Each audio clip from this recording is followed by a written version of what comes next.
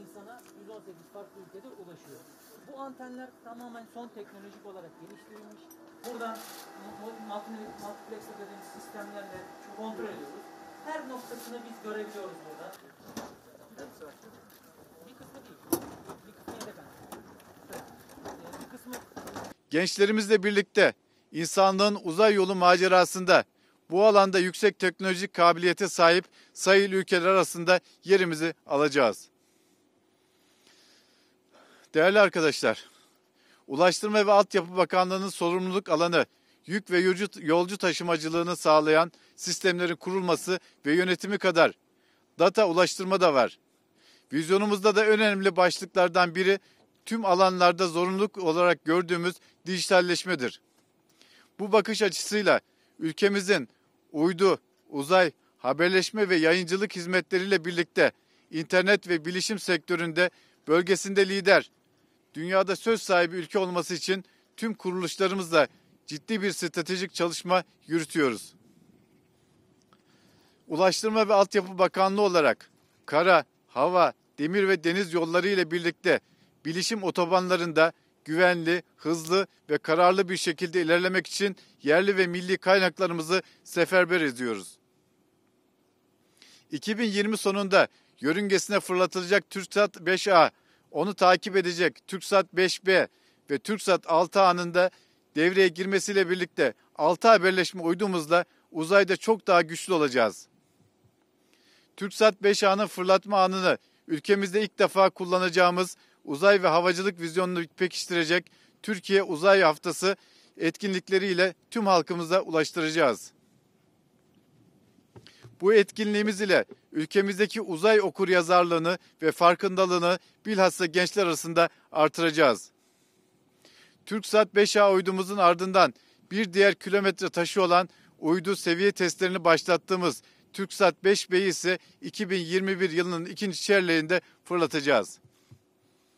2021 yılı içerisinde hizmet vermesi planlanan TürkSat 5A ve TürkSat 5B uydularından hizmet sunulacak yeni frekans bantlar için Gölbaşı Merkez Kampüsümüzde yer istasyonlarının kurulum çalışmaları son aşamaya geldi. Tüm bu çalışmalarımıza ilave olarak Türkiye'nin haberleşme uydusunu üreten 10 ülke arasında yer almasını sağlayacak yerlik ve millilik oranı far bakımından büyük bir önem arz eden uydumuz TürkSat 6 açısı ise TUSAŞ Uzay Sistemleri Entegrasyon ve Test Merkezi'nde TürkSat mühendislerinin de katılımı, mühendislik modeli ekipman üretim ve entegrasyonu devam ediyor. 6A uydumuzu da 2022 yılında uzaya göndereceğiz. TürkSat'a ait uydu kontrol ve yer istasyonları, frekans gözlem, TV uplink ve teleport ve K-band uydu sistemleri faaliyetlerinin yürütülmesi için de Kahramankara'dan yedeklik sistemi kurulmasına devam ediyoruz. TürkSat 5B uydusuyla sunulacak K-band hizmetleri 3 farklı gateway ve yer istasyonu ile verilecek.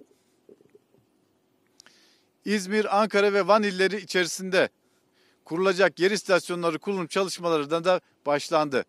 Ayrıca kara, hava, deniz platformlarında kullanılabilecek K-band haberleşme uyduları üzerinden çalışabilen hareketli anten sistemi TürkSat tarafından geliştirildi.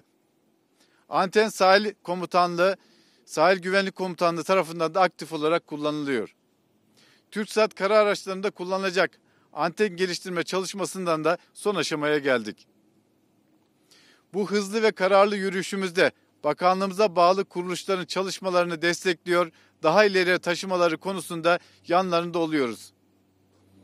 TürkSat'ın da her daim yanında olmaya o devam edeceğiz. Buradan bir kez daha tüm TürkSat camiasına ülkemizin ufuklarını genişleten, geleceğe güvenle bakmasını sağlayan çalışmalarından ötürü teşekkürlerimi sunuyorum. Ayrıca bizleri yalnız bırakmayan değerli basın mensuplarımıza da teşekkür ediyorum. Sağlıcakla kalın, sağ olun, var olun.